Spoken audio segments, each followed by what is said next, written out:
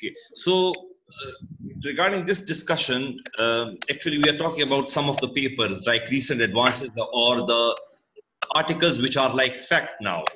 Okay, so again the same issue. One minute.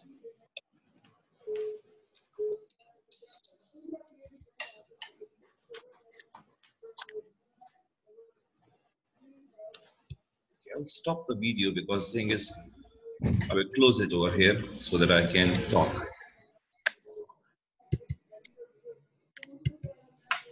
Okay, so David Sackett said that half of what you learn at medical school will be either dead wrong or out of date within five years. So, and the trouble is that nobody can tell you which half. So research is going on so quickly that within last five years, you will you will not be able the, the facts which were which you studied were, were, will be not facts later on satish can i ask you a question Yes, sir. you you saw calcaneus fracture anywhere in your training calcaneum Yes, sir. what type of injury caused calcaneum fracture Sir, these injuries are uh, basically caused due to axial loading. yes good okay so high energy axial loading injuries and do you know what is the classification for it Okay. Uh, uh, I remember sir, Essex uh, Lopresti classification. yes there is another classification of ct also Uh, Sanders, Sanders. Sanders. yes, sir. okay. Sa- Yeah, yeah, Sanders yeah. So when you when you operate for the calcaneus, there are some principles when you operate for the calcaneus. Okay, I will tell you the principles. The four indications are: one is loss of height, second is varus, third is subtalar subluxation or dislocation, and fourth is subfibular impingement. Okay. Uh, you are listening to me? Okay. Yes, yes, yes. Okay. So these are the four indications: loss of height, varus, subtalar subluxation or dislocation, or subfibular impingement. Okay. So Sander classified into four types: one, two, three, four. One is undisplaced. Two, three, four are that. Then there are the fracture lines according to the uh, at, at the facet region on the on the coronal CT. Okay. So what approach you do for CT scan uh, for the calcaneum ORIF? Anyone can tell me? Lateral or medial? Lateral, lateral, lateral L shape, sir. Yes, lateral. Why you do lateral is it access the sub, subtalar and clavicular joint, okay? And it helps to do in plating. So Sanders. Sanders is a scientist name. If you remember him, he the author noted the distinct learning curve with improved clinical results of type 2 and type 3 fractures in later years of surgical experience. Then he quoted, although anatomical articular reduction is necessary for a good result, it does not guarantee good results. Okay? And he recommended for type 4 fractures, primary arthrodesis. Okay? Is the same Sanders. Buckley in 19 in 2002 he said the best patient to treat non-operative were more than 50 years old male those receiving worker compensation and those whose occupation involved heavy working low workloading okay then Folk et al. 2002 again. This is regarding wound complication. He he hmm. quoted that the smoking, diabetes mellitus, and open fracture increase the risk of wound complications after calcaneal ORIF. So this is at you know you can see the p-values. Diabetes, smoking, and open fractures. This have increased risk of getting open complication wound injuries. Okay, after the surgery.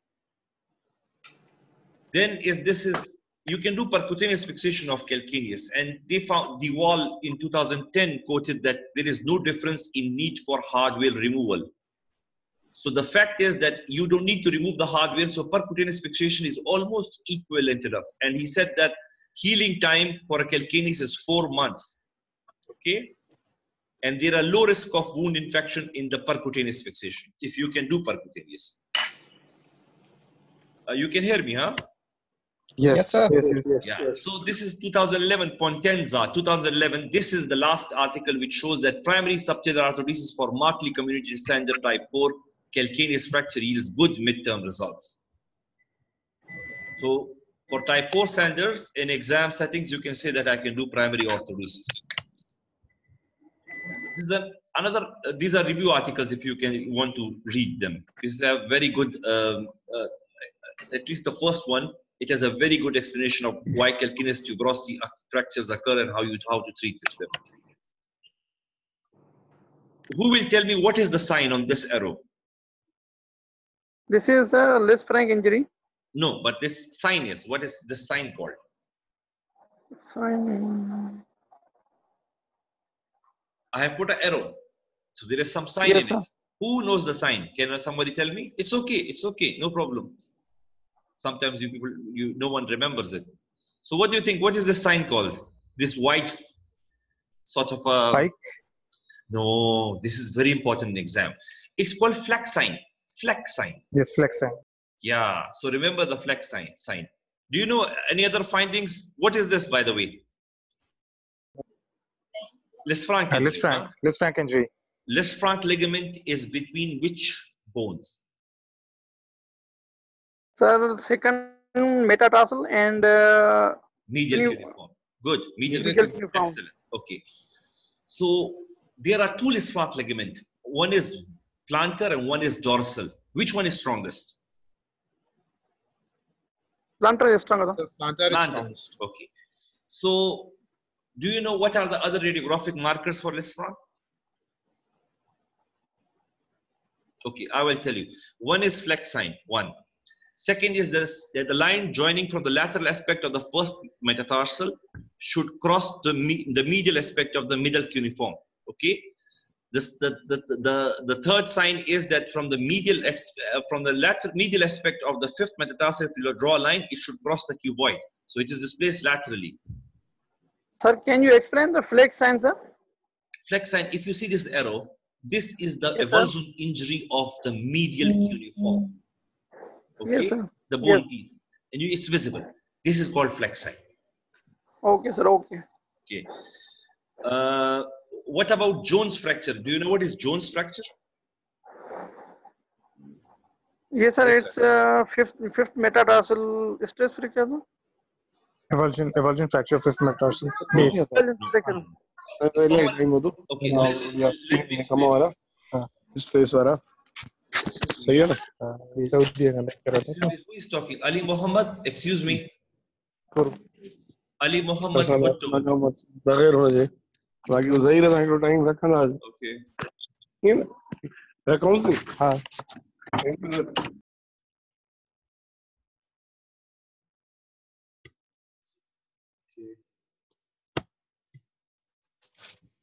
Okay, can you listen me to me? Yes, sir. Yes, yeah. sir. I I have removed one person. Actually, the Jones fracture are classified. The fracture of the fifth metatarsal are classified into three types. Okay, one, two, and three. One is called avulsion injury. That is avulsion of which muscle? Any idea? uh, Peroneus Brevis. brevis. Peroneus Peroneus brevis. Brevis. Brevis. Brevis. Longus is attached to the first metatarsal. Yes. Okay. Two is metaphysio-diphyseal injury called Jones injury. Okay. Metaphysio-diphyseal fracture of the metatarsal is called Jones fracture. Okay. distal to the base. Yes. Metaphysio-diphyseal is Jones. Three is diaphyseal injury, which is caused by stress fracture. You get me? Right.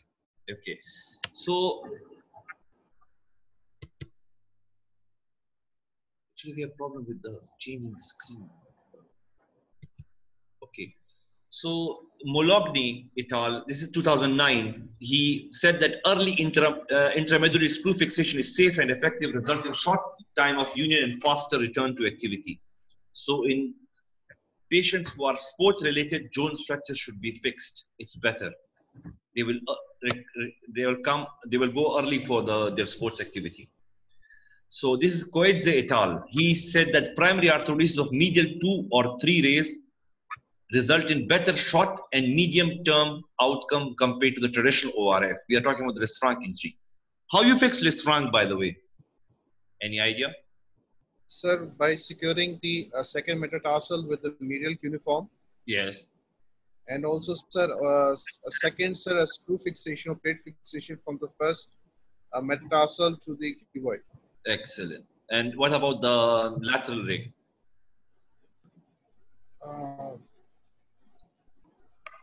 You put a K wire. sir, You K, you do Yeah, K wire. You can do K-wire. Why you do K wire? uh, Actually, these things are not in book. These are simple facts. Actually, as a because the There's too much space, less space for the implants. No, no, no, no, no, no. You can do fixation. The problem is that there is more movement in the lateral three rays. Okay, so walking will be hampered if you lateral three rays are fixed with screws. So normally it needs Right, something like uh, uh, uh, uh, so K wire fixation is better than putting a screw or a plate on lateral aspect. We avoid it. Okay. right. So these are the articles you can read it. It's uh, these are simple articles, but some of them are you know the fracture and dislocation of the forefoot. This uh, Schenck et al. 1995. It has very beautifully explained all the complications which can come in operative and non-operative fractures.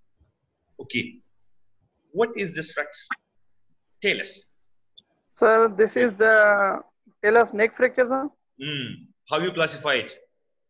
So by It's, Hawkins classification, Uh, how, Hawkins. Hawkins Yes. classification for that, sir. How you Yeah, in Taiwan, there is a in Taiwan 1 there is undisplaced fracture of neck and type 2 uh, fracture neck talus fracture with uh, subtalar dislocation Yeah. or subluxation and type 3 there is a neck uh, talus neck fracture with uh, ankle dislocation or subluxation Yes. and uh, in type 4 uh, both subluxations no. Type four. With talonavicular. Talonavicular. Talonavicular. Type 4 has talonavicular also. That's the thing. okay sir So which which one has what is Hawkins sign then? Hawkins sign. sir, it Okay. is uh, zone of sclerosis in within the uh, neck of the talus. Uh, it should, represents the uh, uh, Subchondral healing, sir. the viability of the tail neck or talus Yeah. revascularization. But it's not sclerosis, it's lucency. Check the book. It's lucency. Sorry. Yes, sir. it's loosened. lucency it's Sclerosis means that the AVN is, is, is going to happen. AVN is present. Yes, sir. Mm, no, not present. Can happen. It's not a surety. If Hawkins sign is negative, this if not present, this means that there is risk of AVN. This does not mean AVN has happened. Still, Right. there is an article for it also that if there is if Hawkins sign is not a must, but Hawkins give you a satisfaction that yes, this is alive, the bone is alive. Lucency occurs when the fracture is fixed and there is blood supply. The sign of revascularization. Yes. Okay. So this is the article 1970, talar neck lucency. So Hawkins explained that to assess the talar vascularity between six to eight week, you should do a radiograph, non-weight bearing, and it should show disuse atrophy. And this absence of uh, subchondral atrophy, this uh, lucency means that there is uh, there is still blood supply. And subchondral atrophy excludes the diagnosis of AVN because bone must be vascularized in order to undergo disuse osteoporosis, resorption, sorry. So this he, um, what what should I what the what word should I use that he he he was the one who gave the name Hawkins sign. Okay, 1970. So this is Vallier et al. He showed that uh, overall AVN rate was 49% in all talus fractures. He showed that in type 2 fracture, AVN rate is 39%, type 3 fracture, AVN rate is 64%, and type 4, interestingly, has rate of AVN of 20%. This is different from the book, by the way. So AVN was associated with talar neck comminution and open fractures. Okay, he said that urgent reduction or dislocation is important and treatment of open injuries, but delaying definite rigid fixation until and unless soft tissue swelling has subsided in order to minimize soft tissue complications. This is different. Before 2000, they were fixing everything. TLS comes, it's emergency, just fix it. He said no, reduce the dislocation and wait till the swelling in the subcutaneous tissue and the skin compromise is resolved and then fix it.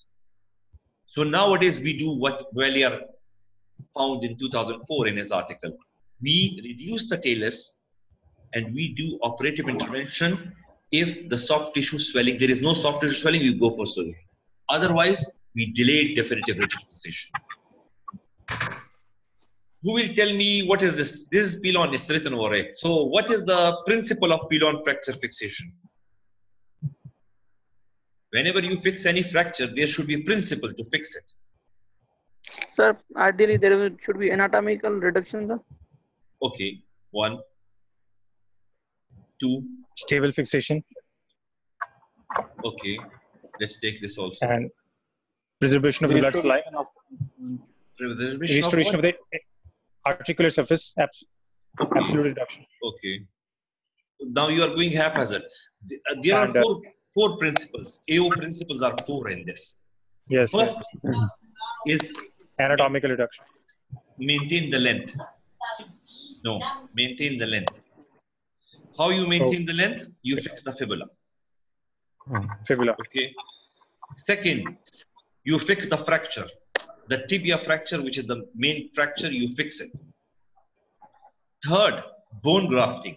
Metaphyseal comminution should be either not opened or you do bone graft in it.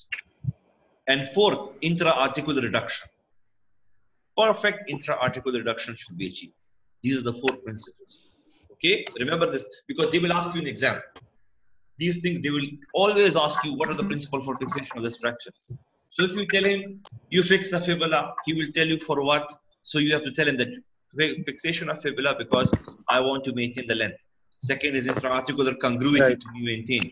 Third fixation of the fracture the metaphyseal comminution i need to fix it some way. Fourth bone grafting. Right. so this is a classic paper of Rüedi Allgöwer, 1969, and this is where he uh, explained that this, these things should be done.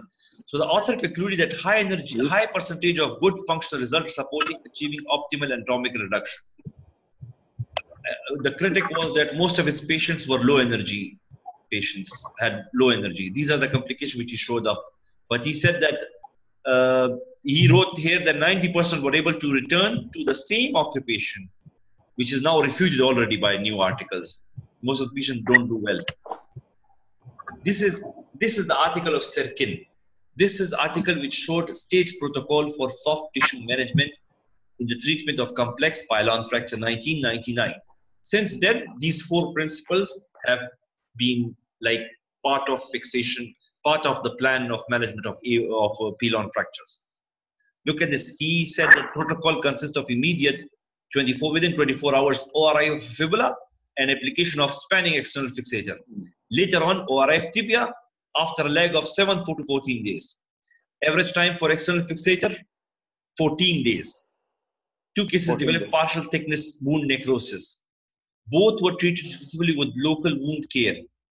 One case developed wound dehiscence. One case with ipsilateral continued calcaneal fracture developed severe osteomyelitis. The result compared favorably with the with the Excuse reported. Yes. Uh, Dr. Ali is uh, ask, requesting to join again. I cannot join. I cannot join. He was talking, so I cannot join. Please, I cannot Oh, join him. okay. He- uh, even if I try, I cannot join him. Uh, tell him I'm sorry. Okay. Yeah. The author concluded that the high rate of complication associated with tibial pilon ORIF was due to early operative treatment through swollen compromised soft tissues. The stage protocol present in this paper and commonly used today until now significantly decreased the complication rate associated with tibial pilon fracture. So whenever in exam you can quote this paper and even up till now, like last 20 years, we have been doing the same for pilon fractures unless he comes on the same date. Like he, the patient after the pilon fracture directly come to you and you are going for the OR within four hours and you keep him and the patient is NPO also. So you can do definitive fixation, no problem. But otherwise, most of them are staged. This is another 1996 prospective study, and the investigator concluded that external fixation is a satisfactory method for tibial pilon fracture and is associated with fewer complication rate than ORIF. This is the only article 2010 which shows non-stage Pilon ORIF. Only one article in the whole last 20 years, only one article is saying that non-stage should be done directly operative. Anatomic reduction 90% cases possible. The investigators concluded that when surgery is performed expeditiously by experienced trauma surgeon, most tibial pilon fractures can be treated with primary ORF. Most have educated stage surgery except this study. I, I, I wrote it down because you should remember it. This is Wang et al. Comparison of two-stage ORIF with limited internal fixation with external fixator for closed tibial plafond fractures. Limited internal fixation with external fixator is associated with higher rate of superficial infections, primary pin track infection, but this does not affect the final outcome. He's saying that external fixator will cause pin track infections and these things, but uh, and resultant, the patient will still, this will not affect his outcome. This is Pollak in 2003. He said high energy tibial pilon fracture outcomes. He regarding this, he discussed that investigators conclude that the patient sustaining tibial pilon fractures suffer persistent and devastating consequences of his general health and well-being. And they do 68% will not work the same job. And this is like nowadays most of people agree that Pilon fractures, the patient will not come back to the same level. It's not possible. These are review articles. I have not read all of them, but you can have a look in, into it. Actually, here I'm talking about syndesmosis. How many fix, screw you will fix with syndesmosis? Anyone has an idea? One, two, or three? Two, Sir, single, Two, single, Two. One cortex. sir. How many cortex? Sir, three cortices. Three Three cortices. cortex, sir. Why not four? Uh, Why not four? because uh, the, uh, when there is uh, uh, dorsiflexion of the ankle, it will cut through. Okay. Who is this, by the way? Who is talking to me? Uh, I am Dr. Abid from Uh, Dr. Abid, Dr. Abid, yes, in your exam you will tell that dorsiflexion will will do. Uh, actually, when you dorsiflex the foot, the tip, the talus is is is broader on on dorsiflexion. Anteriorly is dor- it, it's it's broader. So what they say is when you dorsiflex, it can cut out. But actually, this has been refuted already. Since last two three years, they say that dorsiflexion does not cause anything. But I will. Uh, it does not cause any problem. But the thing is, on exam you can tell him he will be happy. But still, uh, this is 1976 Ramsey, and this will be asking questions. Uh, he this this paper is that changes in tibiotalar area of contact caused by lateral talar shift 1976 and this has been tested 42% average decrease in contact area with a 1 mm of lateral talar shift. This came in my mcqs also. So 42% decrease in contact area with 1 mm of lateral talar shift. When the when when the contact area is decreased the load per unit area is increased.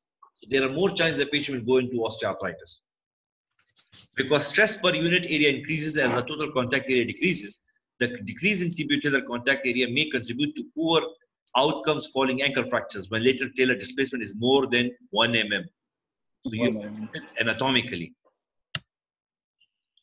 this is Wikerøy et al. 2000. No difference in functional and radiographic results 8.4 years after quad- quadricortical compared to tricortical syndesmosis fixation in ankle fractures. 8.4 years, by the way, it's enough that he has said that there is no difference in tricortical or quadricortical.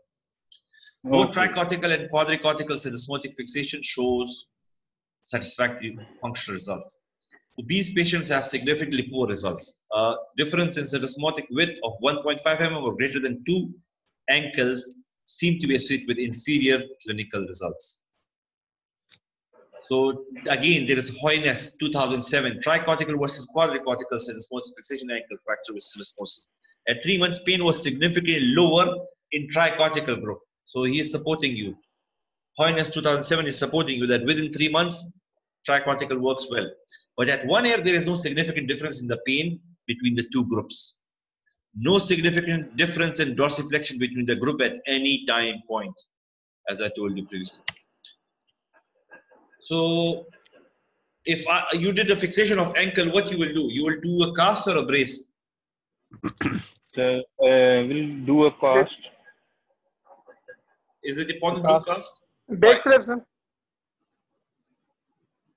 For uh, fibula fixation, sir, is it's not a stable fixation.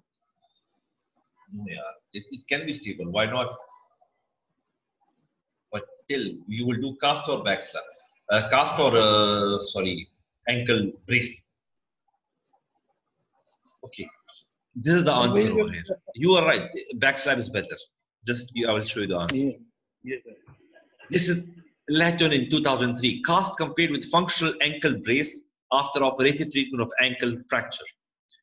No perioperative complication in either group, so it does not matter. But he said significantly most post-op complication in the functional brace group, and common complication was infection, superficial and then deep. So there, are, uh, we cannot explain why infection is more in in in a brace. I, I'm not sure why, but yes, you can put a back slap and you can support it by this.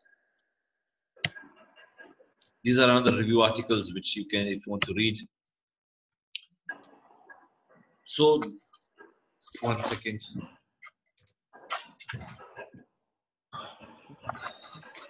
So this is tibia. We will talk about some articles. Yes, sir. Okay. This is top cited paper. Uh,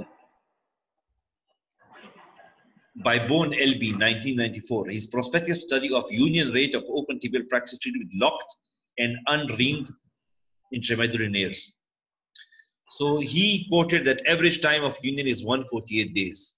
So probably five months. Author concluded that unreamed nailing did not improve union rates compared to the historical rate of external fixation. Actually, this article is discussing the open fractures, tibia, comparing the reamed, uh, unreamed nail with external fixator at that time, 1994. And he quoted that does not matter, external fixator or unreamed nail does not improve the union rates. So if you put it into external fixator, it does not matter. It has the same results.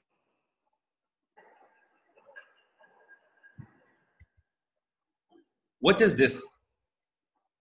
This is PTB castle. PTB. Okay. Patellar Do you know- Do you know Patellar who's- tendon bearing. Yeah, but he, do you know who who devised this concept? PTB cast? Oh. Sarmi- Sarmiento. sir. Sarmiento. So Sarmiento 2004, he he this is a like 450 closed fractures of distal third tibia treated with functional brace. And he found that 90% of the patient healed with less than 8 degree of angular deformity in either frontal or sagittal plane. He also put that final shortening was essentially, essentially unchanged from initial shortening at the time of injury. So the amount of shortening you have after the patient had a fracture, the same, it will be remain the same. So conclusion of the functional braces for treatment of closed tibial distal third fracture is a viable approach that offers satisfactory clinical and radiographic results in high percentage of instances. This is Bhandari. By the way, I want to tell you something. If you have not read articles, this guy is amazing. This Bhandari, most of his paper are top cited. He's a very renowned like uh, research person, personality.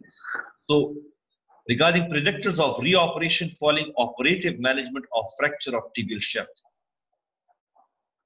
So why you reoperate a patient with tibial shaft fractures? Three variables, he said. First, presence of open fracture. Third, second, lack of cortical continuity. Third, presence of a transverse fracture. So these are the factors, prognostic variables, which can assist the surgeon in predicting reoperation following operative treatment of tibial shaft fractures.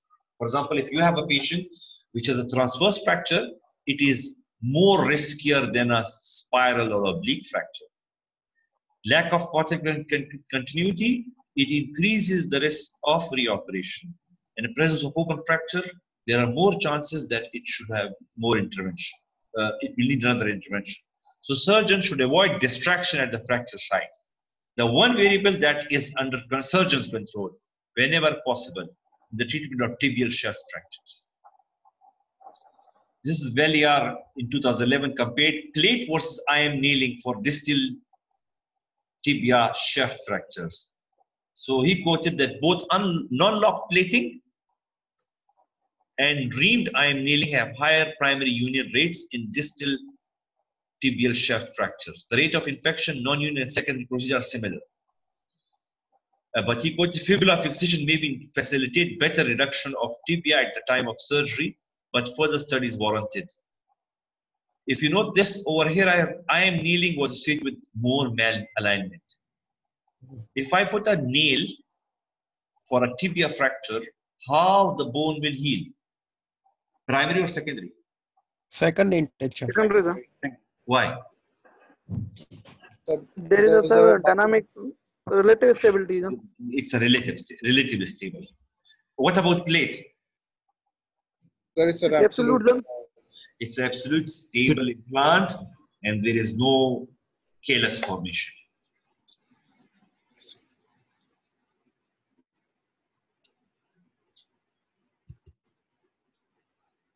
What is this? Who knows it? Knee dislocation. Knee, The posterior lateral knee dislocation of the knee joint. Hmm. Which side? What do you think? It's the posterior medial or posterior lateral? posterior medial. Needs, needs another view. I Needs another view. Posterior medial. Posterior medial. It's the posterior medial. No, sir. Uh, in uh, knee, uh, uh, dislocation is defined uh, with the translation of the uh, uh, tibia, not the Tibia. femur. So tibia. So what is this? Just see. It's a posterior medial tibia. So it's posterior It's medial or medial, posterior but the- For the Posterior we have to take the we have to look for another view. Looks Ah, like yes. posterior. for the lateral. It's a posterior medial. Don't complicate yourself. What is this? Posterior medial? Oh, medial or lateral? Just leave it. Medial, medial. Medial. Medial. Medial, medial, medial. So medial. It is posterior medial, by the way. How you Yes, classify yes. it, by the way? The Schenck classification, You know what is Schenck? uh, uh, one is either ACL or PCL is intact. Okay. yes, yes, yes, Two yes, is as both torn. Up. You can remember it like two, type two, ACL, PCL torn. Yes. Okay. Three is ACL, PCL plus posterior medial corner or posterior lateral corner. Okay. Four Okay. is four torn. ACL, PCL, posterior medial corner, posterior lateral corner. Five is frank dislocation. Schenck classification. Hmm. So how, uh, if you have a fracture disloc, uh, sorry, you have a dislocation, knee dislocation in the ER, how will you reduce it? What you will do, first step, First of all, we will go for reduction. You will not examine the patient? No, Sir, I ATLS. will- yes. ATLS first. examine. There. Okay. And then? ATLS I will done. go for the this is ne- ne- uh, neurovascular status of the patient. Okay. Okay. Uh, no pulsation. Now, Now, sir, Uh, I will if there reduce is- that. no pulsation. I will go for the reduction first. okay. Then I will Analgesia, check sedation. Analgesia and sedate him. Yes. Okay. Okay. Uh, except both both of them are right. So you reduce it and then you do selective angiography. You don't do. Every patient is not for angioplasty angiography suit. The patient which is after the reduction still there is vascular deficit and ankle brachial index is less than 0.9, then you go for angiography. Otherwise, you proceed for reduction of dislocation first. So Kennedy, this is I'm not sure about the year because I missed it. I think so. It's complete dislocation of the knee, order of structure injury in the anterior dislocation, which is more common. First, he said that the posterior capsule injury occurs at the average 30 degree of hyperextension. Then PCL tear up, then popliteal artery, okay, and popliteal artery rupture occurred in average of 50 degree of hyperextension. Okay posterior dislocation are harder to create and require greater torques. This is cadaveric study probably. And associated vascular or nerve injuries occur in more than 50% of the patients. Early vascular exploration is mandatory when there is suspicion of vascular injury. Simple treatment of uncomplicated cases may produce surprisingly good results. And he advocated early repair of major ligaments result in a useful knee. This is Twaddle et al. 2003, 63 cases of complete dislocation. He said frequency of ligamentous injury 84% ACL, 87% PCL, 71% ACL and PCL, 44% MCL, and 62% LCL. So most common injuries ACL and PCL. This is Stannard, and uh, this was a this is the study which shifted our uh, plan of management. Previously, most of the patients used to go for uh, angiography suits. So Stannard 2004, he, this study was the shift from arteriogram to physical examination. He quoted that vascular injuries in knee dislocation, the role of physical examination determining the need for arteriography. So he quoted that indication of art arteriography is decreased pedal pulse, lower extremity color or temperature change, expanding hematoma above the knee, and history of abnormal physical examination prior to presentation. Conclusion, his conclusions were selective angiography based on serial physical examination is a safe and prudent policy following knee dislocation. There is a strong correlation between knee physical examination results and need for arteriography. Increased vigilance may be justified in patient with KD4, dislocation treated with tear of both PCL and posterior and posterior corner, for whom serial examination should continue for at least 48 hours. Who will tell me why 48 hours? Because intimal dim- tears uh, Yes. mostly Very good, very good. Intimal tears. Most of them are intimal tears. So you have to admit them and keep him admitted for 48 hours to assess if there is any uh, uh, deterioration. So most of them are not complete tears. They are intimal tears and it can progress. That's why you have to admit the patient and for two days. This is the, I took it from Campbell, uh, sorry, Miller. And if you see the apparent knee dislocation, you have to physically examine if it's absent, pedal pulsation absent, reduce the dislocation first and then reassess the pulsations. So if this patient comes with a polytrauma, what you will do? Then fix it. Fix, but what to fix? Like how to fix? Polytrauma. He had a fractured tibia, Sir, fractured femur, bilateral fracture humerus, yes. and clavicle fracture also. Tell me what you will fix. And how are you will fix. And any idea? so first of all according Can to the emergency- ADLS protocol, I A- A- ATL will, is done, vitally stable.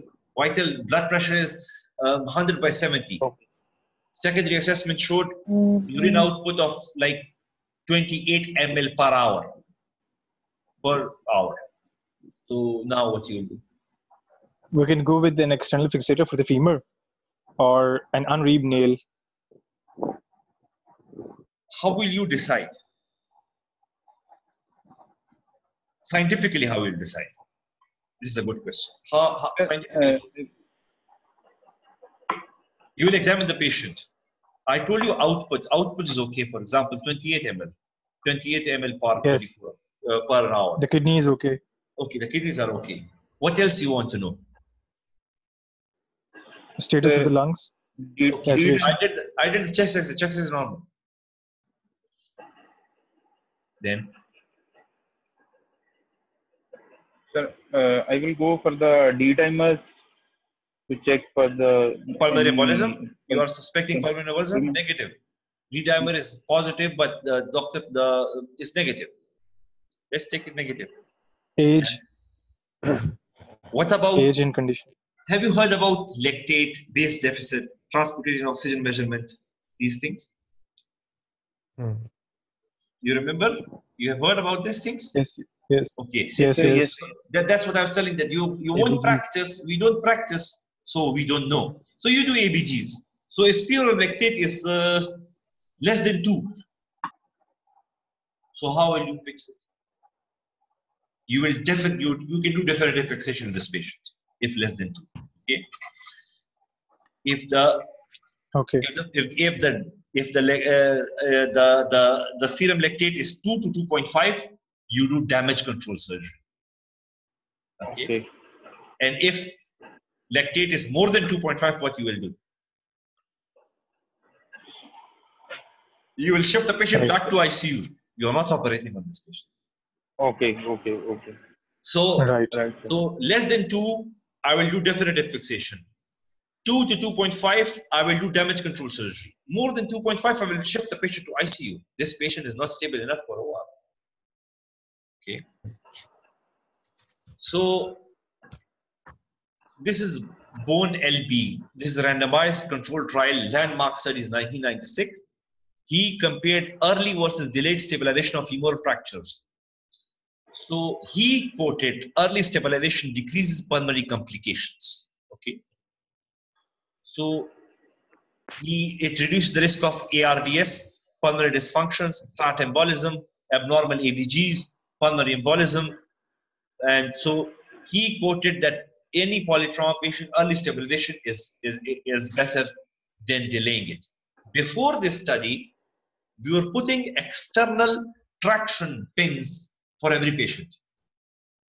Are you getting me? We were not fixing it. We were putting external skeletal traction okay, admit the patient and let it be for one week. Because the thing is, if we operate on them now, they will die. So he quoted that no, you should fix these fractures because of decreasing the risk. If it is not a polytrauma, it's a single isolated fracture femur, you better fix it as early as possible within 24 to 48 hours. So the author provided the overwhelming overwhelming recommendation that early stabilization of long bone fractures should be performed in multiple injury patients. When early stabilization of long bone fracture is done in conjunction with early intubation, ventilatory support, and proper management of fluids, the rate, the rate of pulmonary failure in these patients is drastically, drastically reduced and will lead to dramatic savings. Prior to this study, patients were treated with traction, often leading to deterioration of their condition and even death. While trials are randomized trials were, are now common, this was rare in orthopedic study in, at that time. This was a landmark study because RCT trials are the best trials. So this was the I think the the very like the the the very beginning of RCT trials in orthopedic. Previously that it was not common. This is Nowotarski in 2000. He said conversion of okay, I want to ask you something. Femur fracture, I put external fixator when you will nail it, when you change into nail. After uh, three weeks, sir. Why three weeks? Why not two weeks? Yes. No. Within two weeks. Sir, when Okay. there's Checking- soft tissue coverage After checking the Contact infection. lactates, of the soft tissue, uh, when the soft tissue coverage is proper, sir, and is covering the bone, then we can do. Okay, that, that's okay. That's okay. That's your protocol. You remove the external fixator and put a skeletal traction and shift the patient to the home and let him come when the wound is healed and we will put a nail. That is your protocol. But I want to change the IM nail, remove the pin in the OR and put a nail directly. I want to remove the shunt pin and put a nail in directly. So this can be done within two weeks. That's it. After that, there are more chance of infection. So this is the guy No- Nowotarski 2000. He showed that conversion of external fixator to IM nailing of fracture shaft of femur in multiple injury patients. He said average time in X-fix prior to nailing was 10 days and 95, 97% healed with six, within six months. And he, he quoted that while it remains unknown how long external fixation can be safe before there is increase of infection risk. But in his study, he did conversion within two weeks and the results were excellent. So he said within two weeks you can convert it. So you put external fixator, within 10 days the patient is fine now, the serum lactate base deficit, everything is okay. So you shift him to the OR, remove the shunt pin and directly put a nail. It will not cause infections. This is Bosse 1997, adult respiratory distress uh, syndrome, pneumonia, and mortality following thoracic injury and uh, femoral fracture treated either with IM nailing, with reaming, or with plating. A comparative study. So he's quoted that IM nailing with reaming for acute stabilization of femur in polytrauma thoracic injury does not increase the occurrence of ARDS, pulmonary embolism, failure of multiple organs, pneumonia, or death. Before this, we were doing unreamed nails in to avoid ARDS. Okay. So after this study, the, the guy quoted that you can ream the patient uh, nail, you can put a ream nail and will not cause ARDS unless you take care of the other markers like the base deficit, urine output, vitals, and these things. So it will not cause second hit. These are some review articles. Uh, what is this? Who will tell me? What is this? This is tip to apex station while doing uh, How much it should be? Less than 25 mm. It should be 0.5 to 1 centimeter. Don't say this, the centimeters. Just say 25 mm, less than 25 mm. So In if a both, patient, huh? both AP and lateral. in both Yes. views, sir. AP and lateral view. Yeah, but how much it should be? Less than 25 mm. Yes. Yeah, Yes, exactly. That's 25.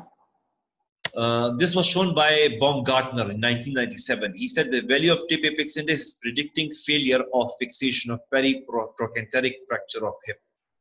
Average TAD in cases with screw cutout was 33 mm. Average TAD in case without screw cutout was 24 mm. So he said that below 25 mm, you should aim for this. So he, this guy also quoted some factors he quoted the chances of failure of the reduction or implant and he said that if tape apex index is more than 30 mm it will fail. If there is an unstable fracture it will fail. If the age is more than 76 it will fail fail.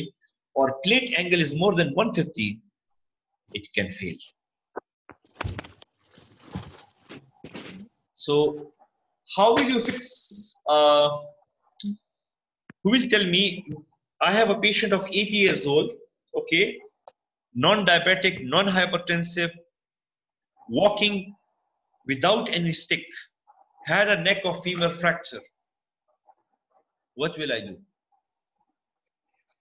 uh, uh, we go for total hip arthroplasty, primary total hip arthroplasty. total hip arthroplasty Uh, okay Duration. Duration of injury. what I would like of his physiological I age, would sir. like to fix He's that fracture using cannulated screws. you, you can you, you, you can reduce. Uh, 80 years old female will not survive if there is a displaced neck or femur fracture. It will not it is of no use. For example i will ask you another question now. It's an 80 years old female with a fractured neck or femur displaced. Previous history when i asked she was walking with a stick. Now what you will do? Hemiarthroplasty, hemiarthroplasty ACWM why? If I would like to ACWM is okay. Using hemi or total arthroplasty. this is not answer. of the- or, or total hip arth- this is not answer. In your exam this is not answer. In your exam it will be hemiarthroplasty why? Actually in the clinic scenarios you can assess and pay patient and decide you go for total hip or hemiarthroplasty but for 80 years old walking with a stick this means that she is, has already weakness She- Hemiarthroplasty. She's already Yes. using And yeah, the she has already expectancy in abduct- abductor weakness. Okay, so hmm. it's more chances to give a hemiarthroplasty for a patient with abductor weakness. And for example, the same patient is without a stick, walking ambulatory, normal community ambulance, 80 years old. I will go for total hip replacement. Okay, for the same patient, if the patient has a Schleimer disease, then what you will do? Alzheimer disease. Yes. Al- Alzheimer's. Uh, we can go for uh, hemiarthroplasty. More chances that he will go for. fixation, the osteosynthesis. No, you cannot. I will go for the eight years old. This is female. hemiarthroplasty, sir. or or we can go for the section arthroplasty, sir. Is the patient is he mobile or non-mobile? Okay, okay. One minute, one minute, one minute. In your exam, never say resection arthroplasty. Never say. Hmm, is an option. Yeah. In exam, 80 years old female at Schleimer, the patient will more go for hemiarthroplasty than total replacement. More towards hemiarthroplasty. What about arthrodesis? No, I don't think arthrodesis will be the. Arth- your arthrodesis for a young patient who is a labor. That's it, done. Just it. Right, right. Don't don't Mhm. don't decide on him arthro. He will ask you why you want to arthrodesis. You will tell them that they- this will give me buy time so that I can do total hip replacement. The patient will uh, the doctor will ask you like he the patient is 80 years old. You want her to be crossing 100 for total hip replacement.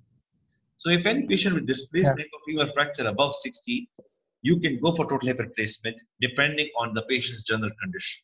If the patient is walking with a stick, having Alzheimer disease, or the patient is having neuromuscular disease or something else, I will go for hemiarthroplasty. Otherwise, the patient's community ambulant, above 60, neck of femur displaced, recommendation is to go for total replacement. So this is the patient, this I told you this guy, Bhandari, 2008 neck of femur fracture in elderly. Internal fixation compared with arthroplasty for displaced fracture of femoral neck. He quoted that mortality rates in 1162 patients provide detailed information on mortality rates during the first four post-op months. Mortality rate was 0 to 20%. There was a trend towards an increase in the relative risk in the first four months after arthroplasty compared to internal fixation. Treatment of displaced femur neck fractures by arthroplasty significantly reduces revision surgery, but at the cost of greater infection rate, blood loss, and operative time, and possibly an increase in early mortality even. So these patients are high risk for mortality also. Taylor 2012 hemiarthroplasty of the hip with or without cement.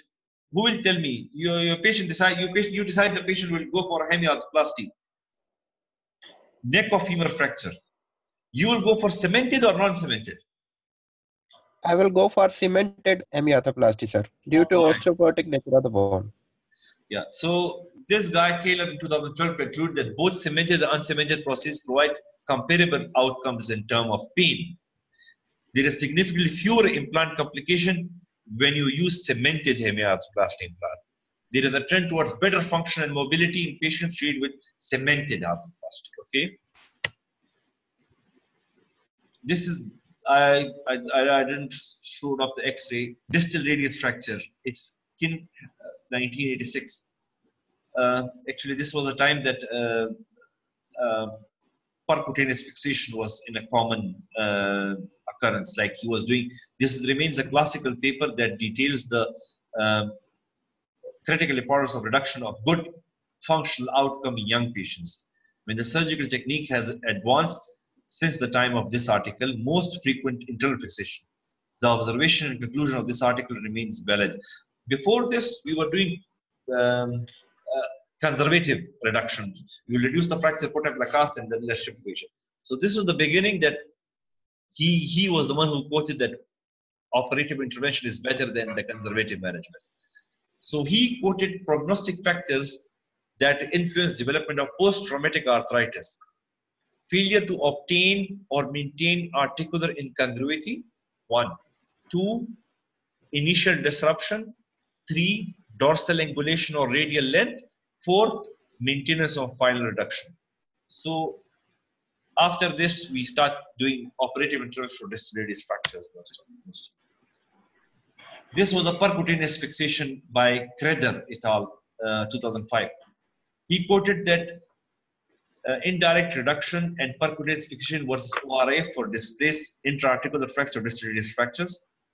So at six months, he, fo- he, he found better OLR function in indirect percutaneous reduction and external fixation there. However, at 12 and 24 months, there was no difference in the upper limb scores. So you can do percutaneous or you can do open. You can put an external fixator unless you have reduced the intraarticular fragment in a perfect way. This is uh, IKEDA. Uh, if patient comes with a Mason type 3 fracture in an adult population with fracture dislocation, what you will do? You will excise the radial head or you will keep it? We'll excise the radial head and replace it with metal prosthesis. Sir, we'll Yeah. reduce the larger fragments, sir. Okay, for example, you cannot reduce. Sir, And uh, you will you will Excision. never okay yeah you are right you are right you will excise you will put a hemi implant if you don't have implant you will keep the same you will not excise it only you get me Right. yeah so he Ikeda in 2005 comminuted fracture of radial head his comparison of resection and internal fixation Resection or internal. So all Mason type 3 fractures, ORF is treatment of choice when feasible. ORF group had satisfactory joint motion with greater strength and better function than patient treated with radial head excision. One major limitation of this paper was the marked difference in follow-up in between the two groups. Actually, in exam, they will ask you, there is a fracture, uh, five fragments of a radial head, and I'm in the OR with you, I'm your assistant, and go tell me you will excise it, you will do what with this? What approach you will use? So you will do the approach. you will explain. After that, he will ask you whether you there is no implant with us. So you want to excise it or fix it or what you want. He said, I want to fix it. Okay. sir. Not, not possible to fix. Now what you will do? So you will not I will excise it if implant is not available. you will not Implant not excise. You will not excise. Okay. Don't excise. Okay? Because being safe practice is better than doing something which is not indicated. If a radial head fracture comes and you excise it, what can happen? There is a Uh, of the radial head. Proximal migration of the Someone I heard SX something- Uh, yeah, it can it, it can end up to distal radioulnar joint instability as a is suppressed. So we better keep it, and we'll excise it later on, no problem, but not at that time. Okay, No. This is Ring et al. 2002 open reduction and internal fixation of uh, radial head. Um, he he he quoted that ORF is best reserved for minimally comminuted fracture with three or fewer fragments. Okay, associated fracture dislocation of the elbow or forearm may also compromise the long-term result of radial head repair, especially with regard of restoration of forearm rotation. These are the review articles. Okay, okay. Uh, this is olecranon fracture. So, can Yeah. someone tell me if a patient comes of two years of age and has a olecranon fracture, what are your concerns? Two years, age of two years only. Okay, a patient of this age, two years, comes with olecranon fracture, you should exclude what? What disease you should exclude? Any idea?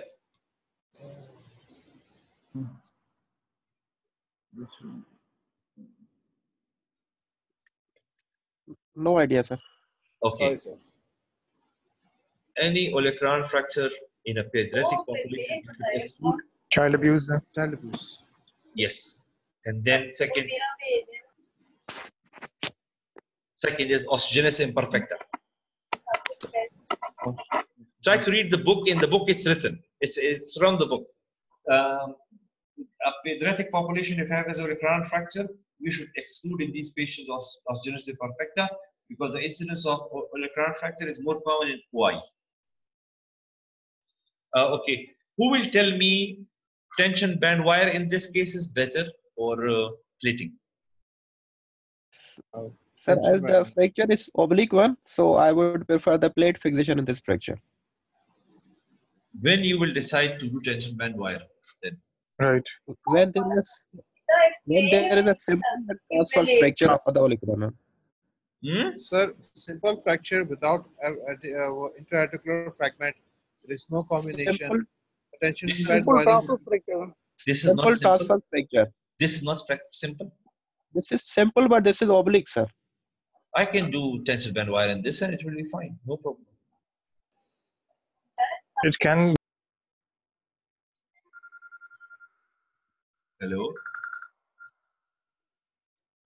be stabilized with TBW. It, This can be stabilized with TBW. But Yes, sir. what, Yes, what, yes, what fracture you will fix with plate, for example? Let's change it. yes. Which which fracture you will put a plate? Community. Uh, if, Obli- if oblique there fracture. is- No, no, one, one person, one person. Okay, Mohsen, now you start telling me. So it, so it can be Community. oblique fracture, community fracture. Okay. Another. Third. Third, I will tell you, extending below the coronoid. The fracture which is extending below the coronoid, Okay.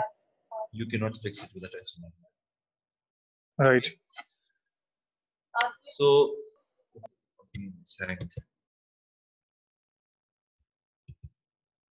Okay, so this guy Hume et al. 1992 he compared the clinical and radiographic comparison of tension band wiring with plate fixation. So he quoted that longer operative time is needed for plate fixation, but there is no significant difference in elbow motion between the two groups. The TBW, there is more symptomatic hardware than plate. And post-op loss of reduction leading to a significant articular step off or gap, 53% in TBW and 5% in ORIF. So the author recommended that plate fixation should be strongly considered when planning ORIF for displaced olecranon fracture. In this study, plate fixation resulted in more anatomical reduction and better maintenance of reduction. The author noted the importance of placing the tension band wire deep to the tricep tendon and on the periosteum of the olecranon and bending the proximal end of the K-wire 180 degree and inserting them flush into the cortex of the proximal fragment. In this paper, he wrote that I'm not supporting uh, plating. He's saying that actually I'm just giving you the information. But in that tension band wire, he showed that it should be embedded inside the tricep. Before in 80s, they was doing tension band wire, but they were not embedding it. Okay. Are you there? In, uh, if we embed in the tricep, what is the advantage? It will not be prominent. That's the only advantage. Okay, okay, okay. Okay. Chalidis 2008 is tension band wiring technique the gold standard for the treatment of olecranon fracture? It's a long-term functional outcome study. Uh, he quoted that male fifth decade and female sixth decade is the most common incidence of this fracture. And 61% are due to simple falls, 39% are due to high energy injuries, and supination was more effective than pronation. Author concluded that tension band wiring fixation remains the gold standard for the treatment of displaced fracture and minimally comminuted, as Satish said. If there is comminution, you go for plate. This is Maripuri. He uh, in 2007, simple elbow dislocation among adults, a comparative study between two different treatment methods. Splint for two weeks, followed by physical therapy. So he said the early active mobilization is safe and cost-effective method for treatment. Early active mobilization resulted in significant better final outcome. So in elbow dislocation, if a patient, they give you a scenario, you will tell him that I will immobilize him just for two weeks in an arm sling. You will not tell him three, four weeks. Mm. Because this paper is now already in the book. So it is now like a known fact. Now it's not a like a, when I was in training in 2010, it found we I was asked by my professor this, and I told him four weeks, and he said no, two weeks. Yes, yes.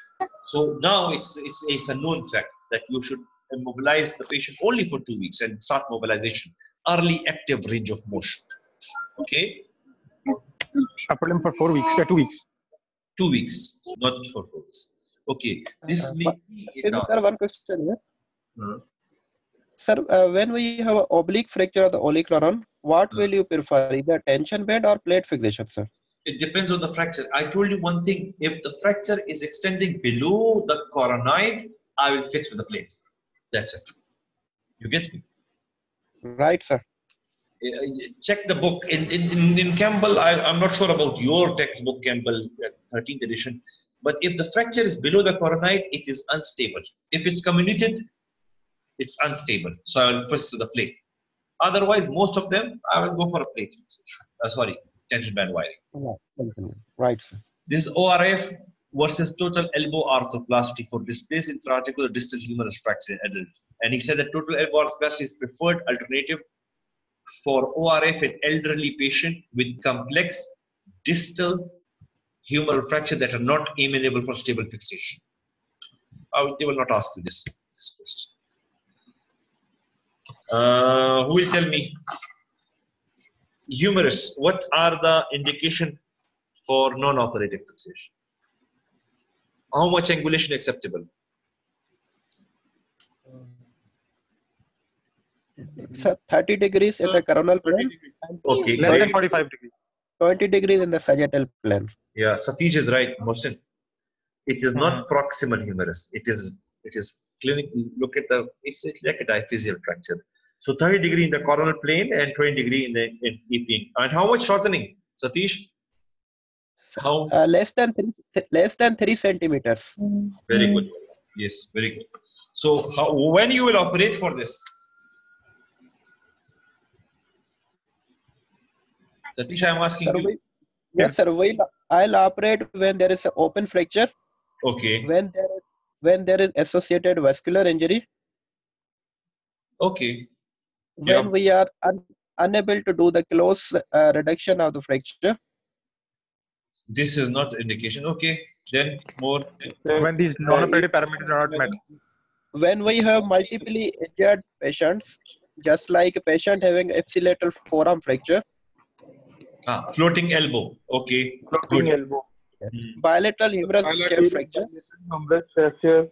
If there is uh, after reduction, if there is nerve injury, and uh, we have to get it open and uh, look for the any impingement or entrapment. This is not, uh, by the way, Absolute Three, uh, this is not absolute indication. So the indication is one is open. Okay, I accept it. Second is floating elbow. Third is polytrauma. Fourth is Yes. pathological. yes, Fifth is brachial plexus injury. Not nerve injury, brachial plexus injury. Okay. So Sir, this what is about uh, massive obesity? what Obesity, sir, massive obesity or females with very large. these are relative indications. Abid. These are all relative indications. Obesity, large breasts, and uh, patient has bilateral, like the patient is unable, wants to be having like should bilateral femur fracture or femur fracture, associated lower limb fractures. Ambulation is important, but these are indications: open, floating, polytrauma, pathological, breaking. That's it. You will not say radial nerve. You will not say radial nerve. yes. So this is landmark study was Sarmiento. So he uh, quoted that functional bracing fracture of humeral shaft of humerus fractures, and he quoted 98% union. Shakir, Dr. Shakir. I think there is some problem.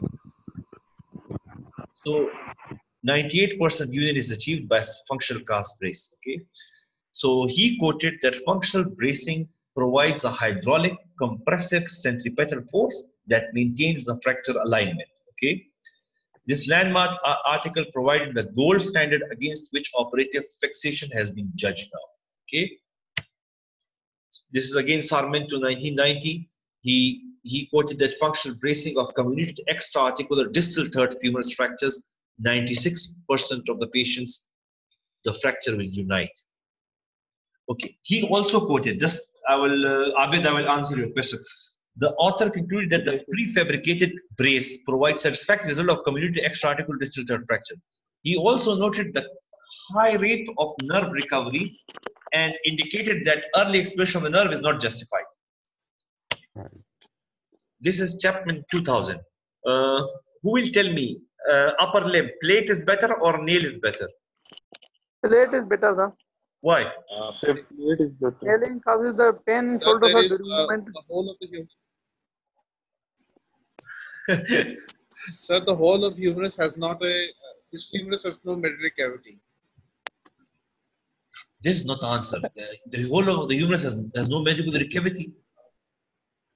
Sir, I will no, uh, play, uh, prefer the I will told you refer that? the Uh, Abid, maybe you you have feeling- read from somewhere, but whole of the humerus has no medullary cavity is not the answer for whether we can do nail or not Uh, uh, for nailing, we have to make the anti. Uh, for antegrade nailing, we have to make the entry o- o- uh, around the shoulder, and there are more chances of.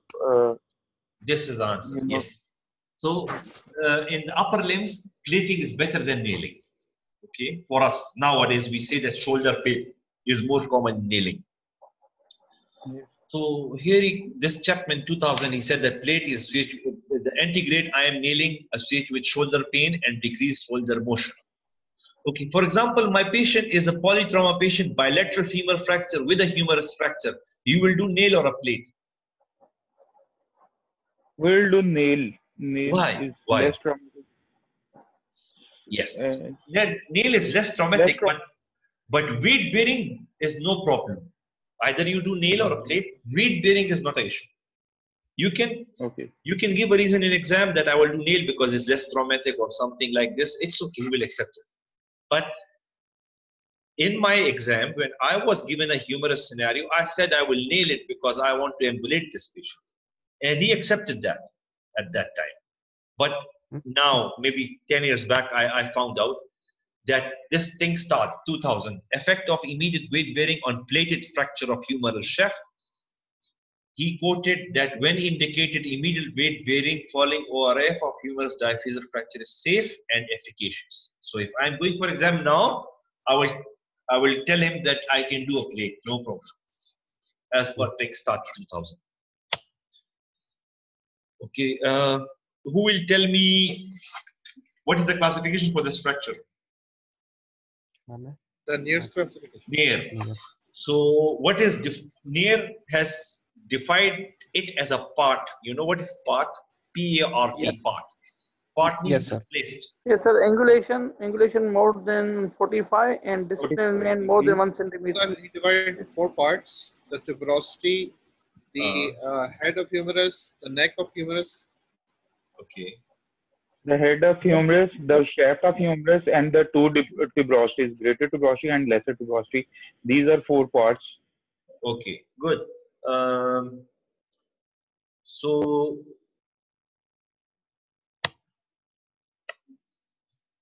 how will you fix it? Did, uh, you can put a actually there is a proper trial now, so you can do conservatively or percutaneous fixation. Already it's a known fact. But first time done was Jaberg et al. 1992. Jaberg, what he did is percutaneous stabilization of unstable fracture of humerus. Okay, percutaneous. So this is the technique, and up till now, this is the same technique, not changed. Even in our books, Campbell, it's written the same. So his fixation technique was two pin in two pin insert into the lateral cortex just above the deltoid insertion and directed superiorly. Okay, one. One pin is inserted from anterior cortex directed into the humeral head. If the great tuberosity is displaced, it is reduced and fixed with two pins inserted from the fragment and directly inferior to engage the medial cortex. Pins should be widely spaced, means they should be distracting, sorry, divergent.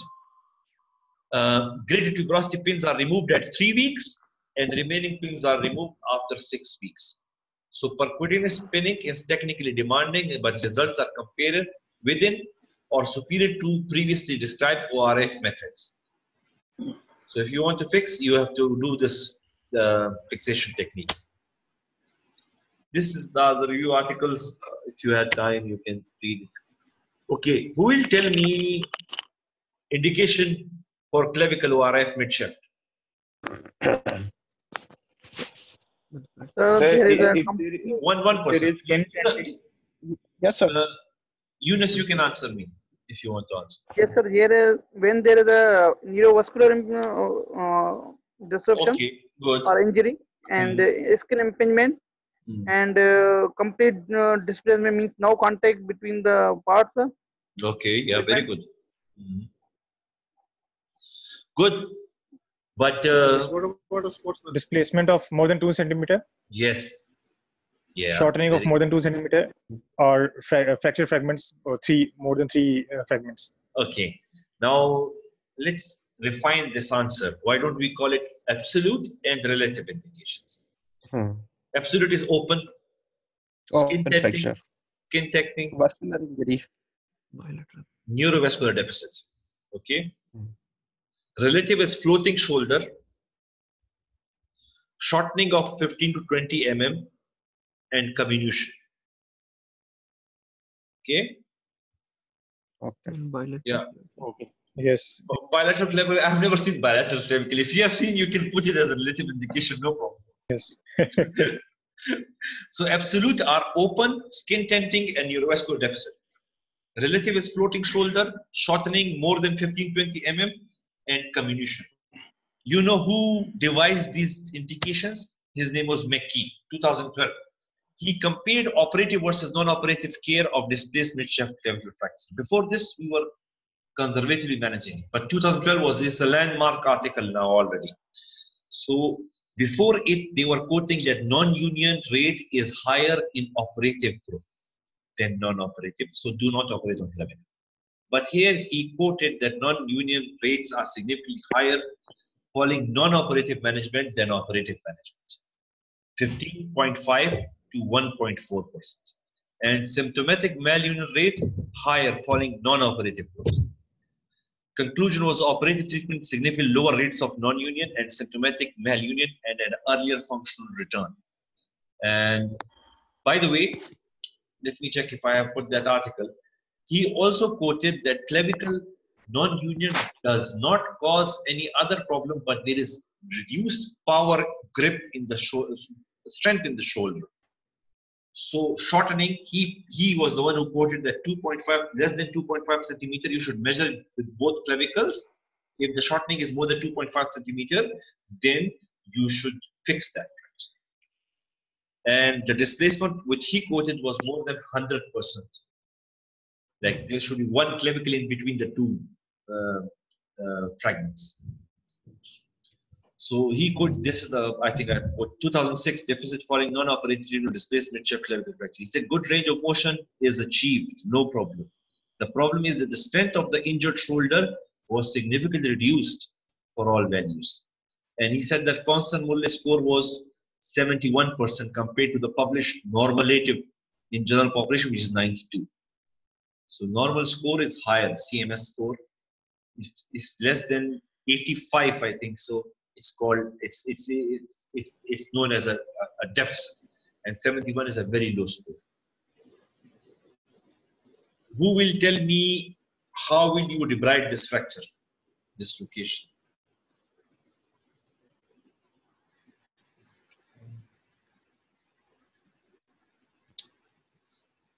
you will reduce this fracture? Debride? yeah Sir, how, how will you where this patient came to the er what you will do sir, uh, I would like to do the MES score, sir, first.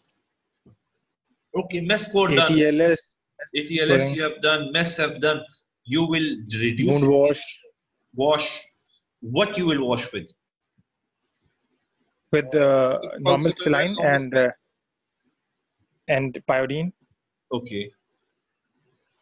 And you will reduce it in the ER or upstairs in the OR? Sir, in the OT, sir. In the No, OR. in the OR. Let's uh, see the some, some of the articles over here. Then I will discuss. And by the way, I'm sorry. What type of lavage you will do? The pulsatile lavage, heavy pulsatile pulsatile. High pressure or low pressure? Sir, high pressure. Okay. Low pressure. Abid, this was when I was going for exam. It was high pressure. After two years, I was I was in Ireland and I told somebody that is high pressure, and he laughed at me. And I checked the book and it was changed.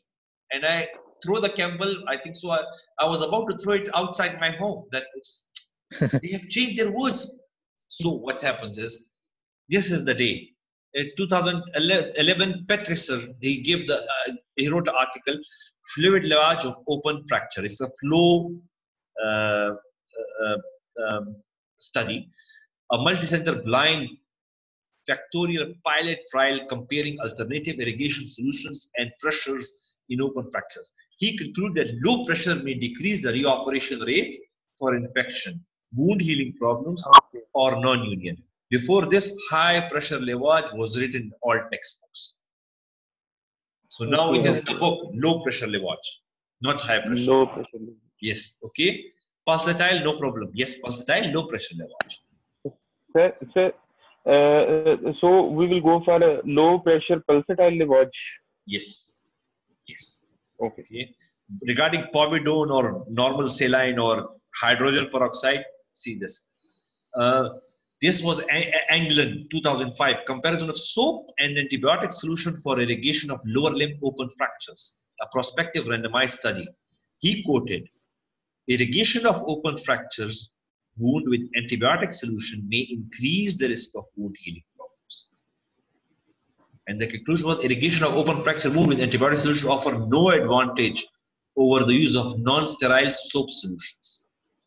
So, povidone, hydrogen peroxides these are of no benefits. By the way, in many countries, hydrogen peroxide, for example, if you're doing total hip replacement and you're washing the femoral canal, most of the countries, it is abandoned to wash it with hydrogen peroxide. Do you know this? It is abandoned in many countries. So if you are going, for example, you are going from here to France and you're operating, doing total hip, I hope, inshallah, some of you are good enough to do total hip replacement in France, going there as a visiting consultant. They will not allow you to do use hydrogen peroxide to wash the femoral canal because the end artery, they act as end artery and it will decrease, it will, it will burn the tissue over there. Okay? Right. So there is a saying, this is by I think it was by Einstein. If we knew what we were doing, it would not be called a research, would it? So, like what whatever we are doing, maybe after a year or two or ten years, it will all be refuted. Okay. So that's it.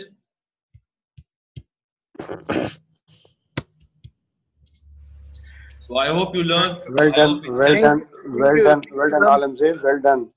Well done, Thank you, sir. Alamzir, Thank you Ah, very much, sir. how are you doing? You're welcome, Shafiq. well done. Thank you very done. Okay. Thanks a lot, sir. Thanks for your time. It's my, it's my, it's my first experience, experience on the Zoom and Ah. I enjoyed it a lot. And Really? we hope that we can, yeah, I enjoyed it a lot. Though I, I'm half sleepy, but I enjoyed it a lot. And uh, I hope that, I hope that uh, many people will join it. It's only 10, uh, 12 people were there out of 200, out of 200. So hope that these 12 people will tell others that they should join. But these done 12, again. these 12 people are more intelligent people, respectable people, so they are joining. So we are here for them, no problem. Thank you. Inshallah, Thank you. inshallah, Thank you, sir. inshallah. Okay, good Thank you. job. Okay. Thank you, Thank sir, you for very your much. valuable time. Bye bye. Thank you. Allah Hafiz.